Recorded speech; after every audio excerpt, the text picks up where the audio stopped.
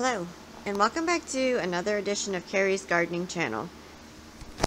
So today is April the 9th, 2019, and um, just pretty much got the greenhouse finished. Um, it took about three years to build, so um, I'm going to be moving my stuff out to the greenhouse today. The greenhouse is heated, so um, it's going to take me a while to get all of this stuff moved in to the greenhouse, but I'll be back when it's done and I'll show you. So we'll be back. Okay, so um, today is April the 17th, 2019, and uh, I was bringing stuff out to the uh, greenhouse hoop house, and um, we do have the fan running and that's pulling the air through. Uh, it's about 70 some degrees outside, so it's about like 90 in here, even with the doors and all the vents open. So it's really important that you get airflow coming through. So I just turned the fan down on low. We normally run it on medium. And I just wanted to show you the plants in here.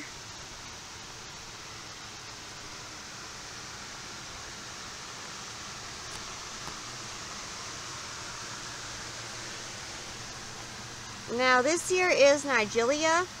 Um, I This is the first time that I've ever grown this from seed and I'm going to be showing you how to start this from seed.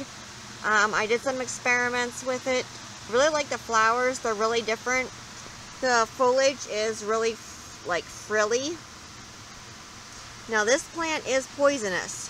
So you want to make sure like you keep pets and children away from it and I've been planting seeds in here. This is a flat of lettuce here. Now this is the loose leaf mix. And then um, back here is, I believe, a Ruby Crunch. Um, I had a pack of lettuce seeds that was bad, and I think I accidentally grabbed that one and sowed it back here. So I'm going to watch it uh, a little bit longer and see what it does. So I have my seeds back here planted. And you can see there's some just starting to come up right here. And um, here's some alyssum. let's see, here's some marigold here. There's some bok choy more alyssum. Now these are my onion seedlings over here. These were trimmed right before they came out.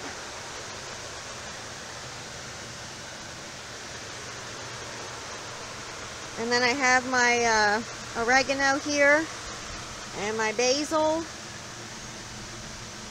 And this is my cold season stuff. Now, Cold season stuff really doesn't like the heat, so I have this in the cooler part of the greenhouse.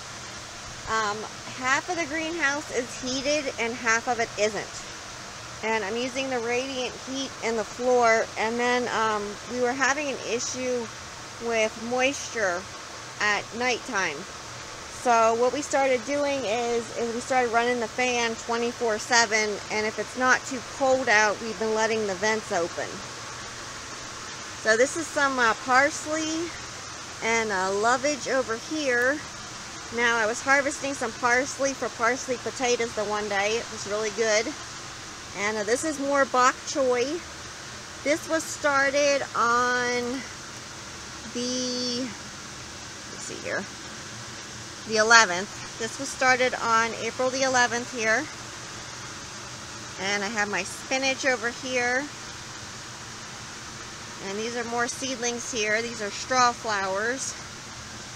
And this is my bok choy from in the basement. I am going to be transplanting this. Um, I'm working on getting all of my containers cleaned up so I can get my stuff transplanted.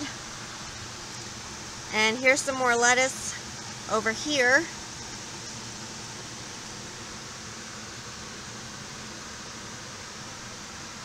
And this is my statice. And this is more uh, bok choy. Now we're using these here to help keep keep heat in the uh, greenhouse at night.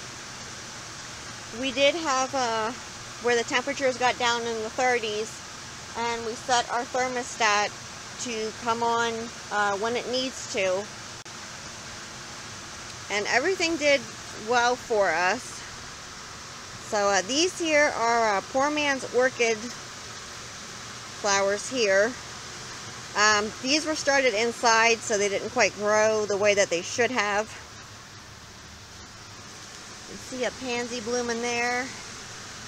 More pansies. These are uh, an early batch of tomatoes that I had started. And then my peppers are over here.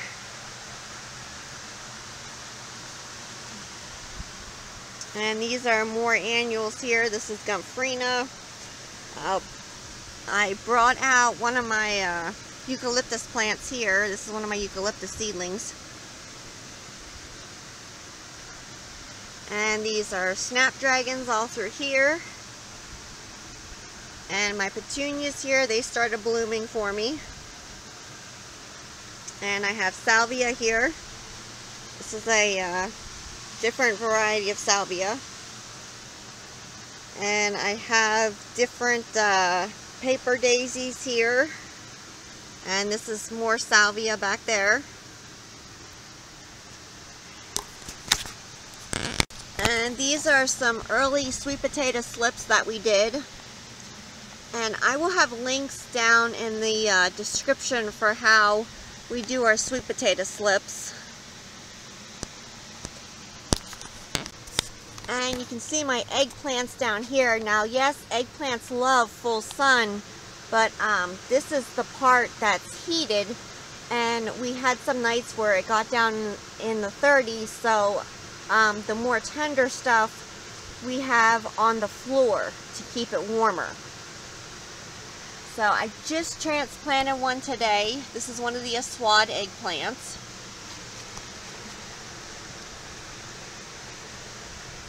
See there's more plants over here. And then all of my shade stuff is uh, under here.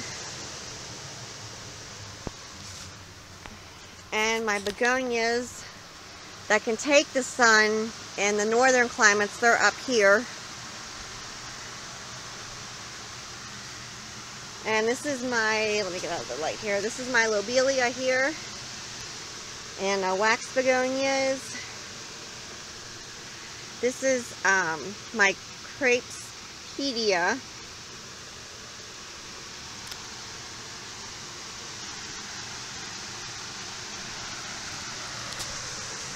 And then um, down here I have different seeds germinating. This is uh, another batch of tomatoes here. These is the ones that I started in the uh, video that I did. And then um, I started some early cucumbers to actually grow in the greenhouse. And I will have a link down in the description for how I start my cucumbers.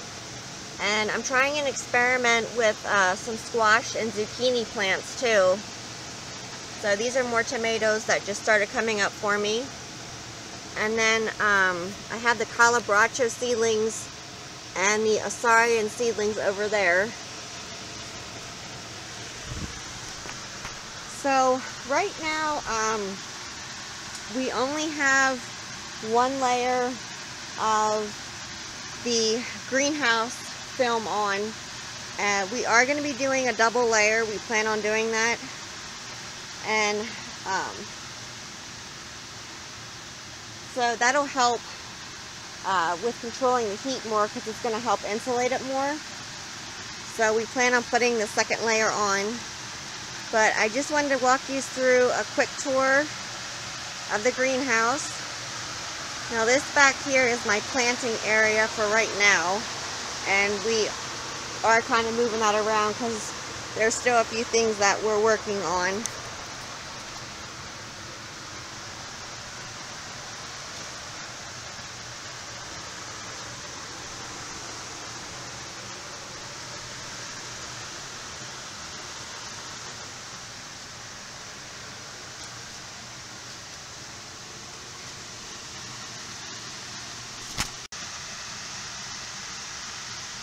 So um, we do have a vent down there on the end and then we have another one up here that we can open. And um, this took about three years um, to build this. So it's really important to make sure that you have airflow coming through your greenhouse. And I have another fan then if I have to that I can plug in and run to um, help circulate the air.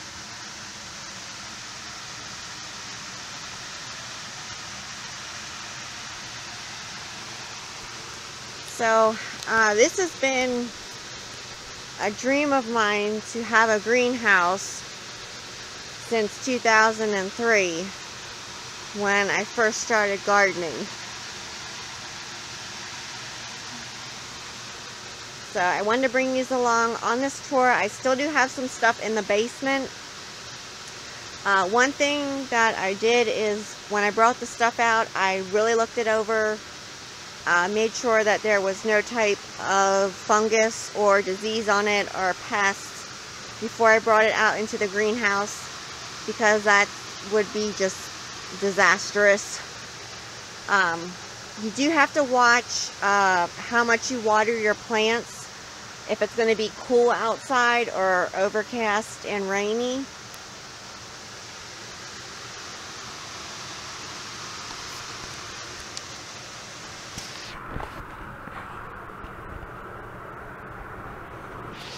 And back here I have the uh, caladiums here. And I have my shade-loving begonias over here. Um, I have some fuchsia cuttings here. And they're getting ready to bloom. Have some coleus here. And um, you really want to make sure that you keep the growing area uh, free of plant debris and litter and um, like you want to make sure that spent blossoms you take them off uh, you don't let them go or on there like this one here spent this is one of the petunias so I'm just taking this off and I will be getting rid of these here um, what will actually happen if you don't, it can lead to different blights and diseases. And uh, we don't want that.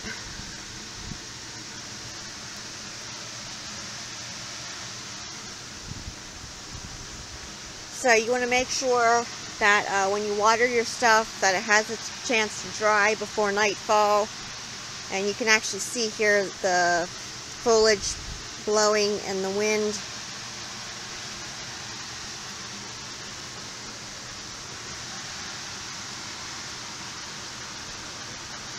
And I want to show you the bases of the tomatoes here. You can see they have nice thick stalks to them.